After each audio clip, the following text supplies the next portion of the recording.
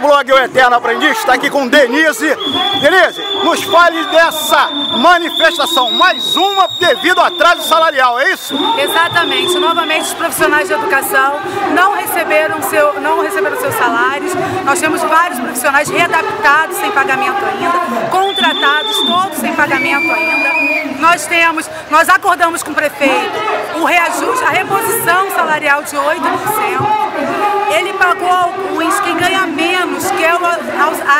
SG, o auxiliar administrativo, o vigia e a cozinheira, não receberam reposição salarial.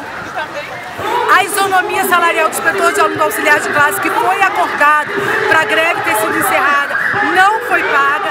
Então o que a gente está vendo é um verdadeiro rompimento do acordo, por isso a categoria está em greve por tempo determinado. Muito obrigado, Denise.